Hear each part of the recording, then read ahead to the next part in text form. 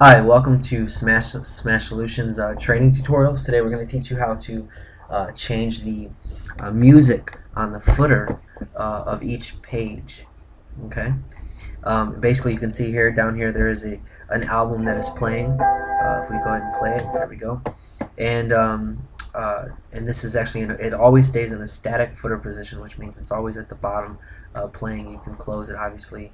you have some controls here going on, but we're going to show you how to access that uh, and to change the album cover. First off, um, this is actually playing an album, and within that album are many tracks. Okay, so let's go ahead and go into our um, our, our settings for our template. Let's go to the Music tab, and if you go to Settings here and then go to Theme Settings, you'll see Audio Player. So once again, that's Music, Settings, Theme Settings there's the audio player. Now right now it's actually playing, you can disable it here, uh, but it's also playing Night Mix. That's the album that it's playing.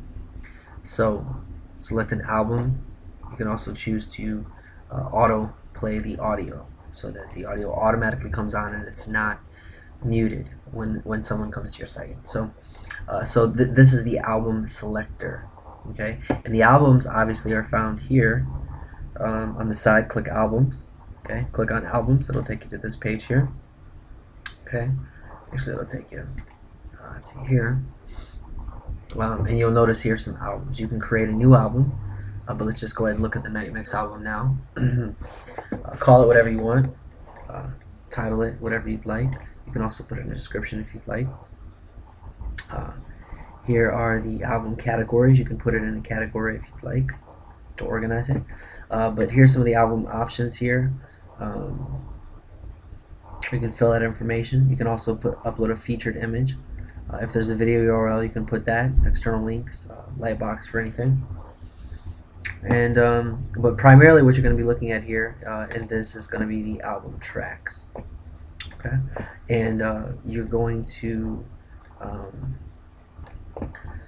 uh, label the the, uh, the the track here, and then upload the file and uh, the file must be an MP3 okay?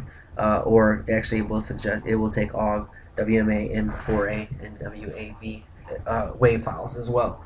Uh, so that's pretty much it. Now the remainder of this information here uh, on the albums when creating a new album uh, does apply to um, this portion of the website which is the album section here okay and uh, we're going to get to that in a different different tutorial. So uh, this tutorial actually covers just or uh, just covers the uh, footer audio and how to turn that off and turn that on.